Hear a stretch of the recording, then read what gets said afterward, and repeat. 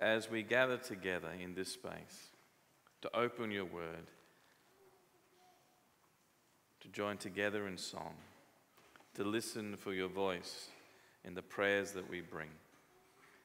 We give thanks that you remind us that we belong together, even as we belong to you. As I speak this morning, may there be more of you and less of me in the things that I say. And may that belonging spirit that strangely warmed the heart of Wesley, may that be present to us here today. In Jesus' name we pray. Amen. So, folks, this series on belonging is going to help us, I think, to, dis- to remember what it means to be church. Being church together is not about what we do on a Sunday morning, it's not about having your name on the membership roll. It's about being united together by the power of the Holy Spirit in ways it's hard to explain, and yet the invitation is there for us to experience. And I want to do so by following the lectionary readings as part of the discipline of the church. And so on today's reading, we have this passage from John 5. It's a passage that's known as a healing passage, but I want to suggest to you that the healing that takes place is not the focus of the story. As is often the case with, with gospel narratives, when we find he- healings and miracles, the stories that come to us uh, feature these particular events, but the way they are framed, they try to teach us something about who God is and about who we are called to be. And so it is with this passage in John 5. There's a man who longs to be healed, but more than that, we find in Jesus bringing the healing that he confronts the way the world thinks about religion, about God, and about healing itself. So let's have a look at this thing. And to help us do that, as for those of us who've uh, journeyed with us over the last 12 months, you'll know that uh, I've often used a method introduced by the philosopher and, and theologian Paul Ricoeur. When it comes to reading, he says we need to look behind the text, within the text, and in front of the text. This is what biblical scholars call hermeneutics. Uh, the word hermeneutics comes from the, the, the god Hermes, the messenger god. It's about how we study the messages we send to each other. And uh, of course, most of us are probably aware that when we're talking to someone, the words that we say are only a part of the message we communicate. The tone that we use, our body language, um, the context in which we are speaking, all of these things convey meaning. So when we come to reading a text, especially one that's as ancient as the biblical text, one that's been translated into different languages, one that was written in a culture so very different to our own, we need to understand the text in a, in a fuller regard in order to see what the word might be saying to us. So we're going to use this methodology of behind, within, and in front to see what this story might be telling us. So the behind the text basically says to us we need to look at the context in which a text is written. In this particular case, I, I want to have a, a, a, brief look at some of the things that perhaps we read over in this passage and don't realize, realize how important they are. The first is this that faith has an architecture. What I mean by that is all the things that, um, that engage in our cultural and lived experience tend to be seen in the way that our, our living environment is built and designed. In terms of faith, the way we understand faith is also seen in the, the buildings where we experience our faith, where we worship, um, and in the case of this story, in the city in which this context and, and this story takes place. So if we look at this building here, we can have a look at how elevated the pulpit is here and realize that for the people who designed this building, the preached word was of such importance that it's, it's up and a, the, the pulpit is elevated. Um, in England, just about every church we went to in, in London, when I was recently there, same architecture um, is supplied. But the difference is at the front is the altar where the communion table is, and the, the preaching pulpit is here amongst the people. And the architecture, the design of that is saying that this is where the sacrament takes place, but the Word of God is, is best read among the people and best spoken about amongst the gathered worshipping body. In the design of this place, we have stained glass windows all around the church that tell a story, that tell a history. It's not just worshipping spaces. Cities are designed that way. In Washington, D.C., uh, the, the 13 colonies that were um, present at the time that Washington, the capital, was built, monuments are about the 13 colonies all around the city, and the design, the, the cityscape is designed around the 13 colonies that were there. Um, Canberra, our capital city, has a, a, parliamentary triangle between Parliament House and uh, the, the cap- capital, well, the, the civic centre where all the, the civilian enterprise happens, and also the, the military centre. So you've got this big triangle, and, and so when um, Walter Burley Griffin put the, the city together, designed the city, he had this in mind. And the idea of that is to bring focus and attention to what the city is meant to be about. So, in this particular story, there is mention of five porticos. Now, we just read over that and we don't quite understand what's going on. And this particular story, this healing takes place on the Sabbath. The architecture of Jerusalem at the time was that it would bring attention to the, to the historical traditions of the Hebrew people. The five porticos, scholars tell us, represent, are meant to represent in architectural design the five books of the Pentateuch. In other words, the law on which faith is built. So there's a man wanting to be healed, and he's sitting in the center of a, an architectural design that focuses on the law of Moses, the law of God. And here is a man wanting to be healed, but it's on the Sabbath. And of course, the law of God says that you can't do any work on the Sabbath. So, here in, in the, the center of this architecturally designed space that brings attention to the law of God is a man who requires healing, but that request would mean uh, the necessity to break the law. And, folks, that's what this story is about. The question that comes to us what are you willing to do to bring healing and hope to another person? Are you willing to break cultural or religious norms in order to do so? That's the power of what this story is. Wesley had his pillars of faith, had his an architectural design in his theology that spoke to him and others about how faith is to be understood. It's called, scholars now refer to it as the Wesleyan quadrilateral. So Wesley said that the four pillars of the Christian faith are tradition, scripture, reason, and experience. And when you put all of these alongside one another, they support what we call the Christian faith. So for Wesley, whenever he came across a decision he didn't quite know how to make, he balanced these four pillars. He said, What does tradition tell me in terms of the church? What does Scripture say to me as I, as I open the text? What does reason tell me? And what is my experience? And on Aldersgate Day, we realized the experience that Wesley had suddenly had more importance in his life. Now, we see this in the life of the church. Different ways of experiencing faith in the life of the Christian church are based on different pillars of the Wesleyan quadrilateral. So, our Catholic sisters and brothers emphasize tradition, probably more so than they would the others. Our evangelical sisters and brothers probably emphasize scripture more than the others. Our liberal or progressive uh, sisters and brothers probably emphasize reason, and our Pentecostal sisters and brothers will emphasize experience. All four are important, but we all tend to lean more on one than the other. And sometimes it depends on the decision and the context as to which one we will lean on. But Wesley says we need to engage all of them. If we're only focusing on tradition, but we're not looking at the other three, we're going to, the decisions we make will be unbalanced. If we only focus on Scripture, and this might be hard for some of us to hear, if we don't take into consideration tradition or reason or experience, if we only focus on what the Word says, we'll do some pretty crazy things. There's some pretty crazy things in the, written in the Bible if we don't weigh them up with our reason and our experience and the tradition of the church. If we only base things on reason and don't allow Scripture to speak, then we will not confront the reality we have.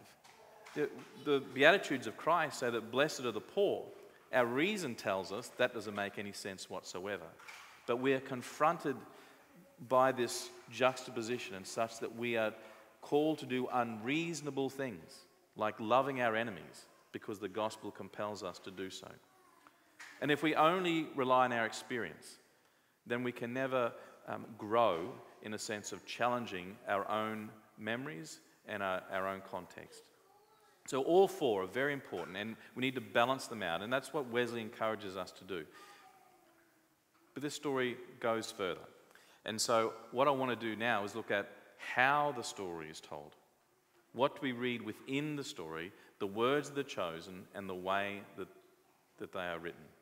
So, the first is this whenever you see a number in Scripture, um, it's an invitation to look a little bit deeper. We're told that this man has been there for 38 years. We're not told how many years Jesus was on the earth. We try and guess that and put, put it together by looking at different dates. But we're not told how old Jesus was when he died. But we know this man has been there for 38 years. When you're given a particular detail like that in scripture, it's an invitation to look a little bit deeper. That number 38 is only ever mentioned three other times in the Old, in the Old Testament. Uh, twice is to do with the rule of a king. And the third time was about when Moses wants to enter the promised land. He waits, we're told in the text, 38 years since the liberation from Egypt before the people of Israel enter into the promised land. And the reason is, is that those who were warriors back in the day, those who had to, to use bloodshed in order to achieve victory, that bloodshed would not be remembered by those who entered into the promised land. It's almost a generation. The number 40 is the number for completion and generation. 38, it's almost there. Moses says we need to wait so that the memory of violence does not come with us into the promised land. This man has been there for 38 years, pretty much longer than anyone can remember. And people can't remember the, the day that he first arrived and the reason that he was there. So the waiting is beyond remembrance. But it's not the remembering that is the, that is the moment of significance here. It is what the remembering enters into. And the scripture in Moses about entering into the promised land is it possible that this man might be able to enter into a promise that God has? And now we come to the structure of this passage, which in, in John's gospel, as we often find, is written in a chiasm, a particular pattern, where there's a reflection that happens either side. So, in, in this particular chiasm, we have the introduction of the term the multitude. And then we have the, the phrase that the man wants to be healed. And so Jesus says, Pick up your mat and walk. And then we have a mention of the Sabbath, which is the focus of this passage. And then we find the man is healed, and so he picks up his mat and walks. And then the, the scripture talks about the crowd. So we have this reflective pattern that focuses us on the point of this story, which is the Sabbath. Now, we need to understand, we don't get, quite get the Sabbath. When I was a kid, on Sundays, mum and dad would say, uh, you know, it's a time of rest. You have to go have a lie down. On a Sunday? On Sunday afternoon? I want to go out and kick the footy. I thought Sabbath was a form of punishment. But the whole idea of Sabbath is that it realigns our time. But in Jesus' day, the Sabbath was a law that was sacred. And we need to come to grips with what that might mean. The Sabbath law was sacrosanct. It was probably the, one of the most important laws in all of the Torah. And, and here, Jesus heals on the Sabbath. Jesus works on the Sabbath. Jesus breaks this sacred law. You can't get around it. And he does it for a reason. This man is unwell. This man requires healing. This man needs hope and wholeness. And these things, this story tells us, are more important than following the law. If we look through even our modern history, even going back the last 50, 60 years, we can find people who have made such an impact on how we understand ourselves and others because they dared to break a law in order to bring healing and hope. Dr. Martin Luther King, surely someone who broke the law through non-violent, um, non-violent protest, but it was breaking the law that was able to hold up a mirror to the law that, that said this is unjust.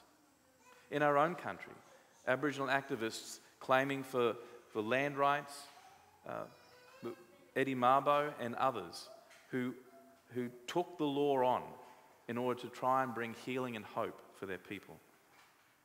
In more recent times, there's been concern around um, issues around folk on Manus Island and, and Nauru, people imprisoned because they've come to Australia seeking refuge. And people have taken that on to say, we will, we'll object to that, we'll protest that, because we think the healing and hope of these people incarcerated is more valuable than the law which says they should be detained.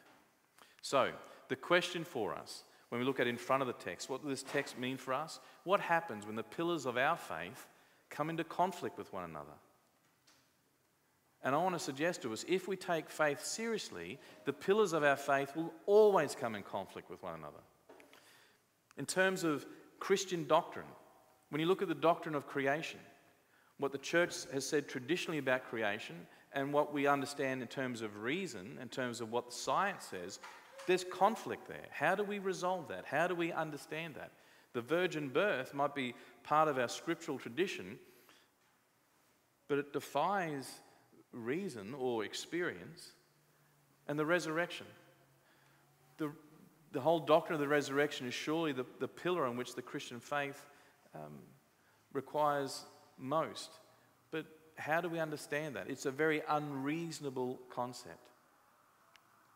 In terms of how we operate as a church, many of us here would have different understandings of prayer, different understandings of the Holy Spirit, different understandings of the power of God to heal people. And we, we weigh these things up with these four pillars in terms of our social and cultural context. The church uh, in the last 18 months has been divided over the issue of same gender marriage because people have different understandings of tradition and scripture, reason and experience. But we had those same divisions over things like divorce, and we continue to have those same divisions over concepts like war. We can't, we can't retreat from these discussions they are paramount to what it means to be a faith that engages the culture and the people of its time. But through all of this, what we discover through the Wesleyan uh, quadrilateral is that apart from these pillars of faith, Wesley experienced a heart strangely warmed. What that means is when we encounter these issues, whatever they might be, we need to realize that for some of them, some people that we're talking to, these issues are much more personal than others. But the heart strangely warmed also reminds us that God is with us in these discussions. So for Zachary and Alexander, a prayer is they grow up in a church that engages the culture in which they are. Does not hide behind barriers, does not put up brick walls, but engages with the culture with a message of love and forgiveness and hope that each culture and each time and day needs to hear. The problem is, most of us have, or in the tradition of church, have what's called a brick wall theology. Rob Bell, an author, has used this analogy quite well. And the problem with the brick wall theology is we, we develop our systems, our, our rules, our methods, our theology, and it's like a, a brick wall. One brick is placed upon the other. And the problem with that is if one brick is challenged, if one brick is moved, the whole thing falls. A brick wall is rigid, it, there's no flexibility, it can't move. And for people who want to join into a community of faith, for people who want to engage in a discussion that, that seems foreign to that faith tradition, there, there's no place for them to belong. So instead, Rob Bell talks about trampoline theology. He says our belief systems, rather than being bricks in a wall, should be like springs on a trampoline. There are things that are essential, like the, the existence of God and, and the hope of love. These, these are the things that faith is built on, but there's a flexibility there. When a new idea comes along, there's a, there's a bit of give. It's not a rigid structure that's going to fall over, there's, there's a bit of bounce. And at the end of the day, bouncing on a trampoline is so much more fun than hitting a brick wall. The idea of a trampoline is, is community gathering. Come, let's jump together. Let's see how high we can go. Let's have some fun. Let's see what we can discover about the love of God. Dietrich Bonhoeffer, and I'll finish with this, talked about this sort of stuff many years ago at the end of World War II. His three pillars were the incarnation, the crucifixion, and the resurrection. And, and the reason why he chose those three pillars is because they're about the person of Jesus Christ. He said, if I, if I want to know what to do in any given situation, I look around and see where is the incarnation of Christ here? Where is the God who loves the poor? Where is the God who, who left the throne room of heaven and was born in a stable to be among us? Where is the God who walks alongside? If I want to know what's happening in any, any given situation where there's conflict, I ask, where is the crucified one? Who is being crucified for standing up and speaking truth to power, for taking on the mission of God's love, whatever the cost. And if I want to know where hope is, I ask, where is the resurrected one? Where is that hope rising from the ashes? Where is that shoot, green shoot coming out after the bushfire? Where, where is love winning where no one thought it ever could? So, the challenge for us as a church is when we want to engage this idea of faith, can we dare to look beyond the brick walls and invite people to bounce on the trampoline with us? Can we dare to understand that God would strangely warm our hearts if we open our hearts to the lover of all? Can we dare to believe that bringing healing and hope is more important than following rules, whatever the risk that might bring to us? Let's pray.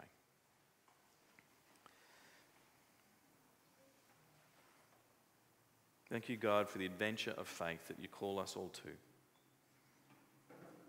That our hearts might be strangely warmed, that we might find healing and hope, and that we might bring these things to others. In Jesus' name we pray. Amen.